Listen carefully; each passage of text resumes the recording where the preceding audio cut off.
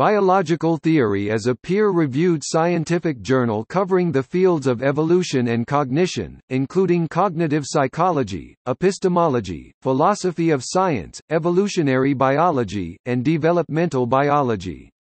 It was established in 2005 and originally published by MIT Press, sponsored by the Konrad Lorenz Institute for Evolution and Cognition Research.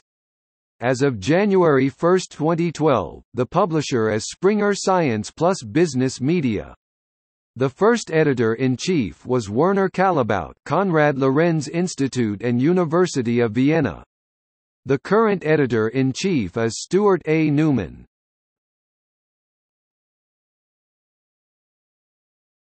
Topic: Abstracting and indexing.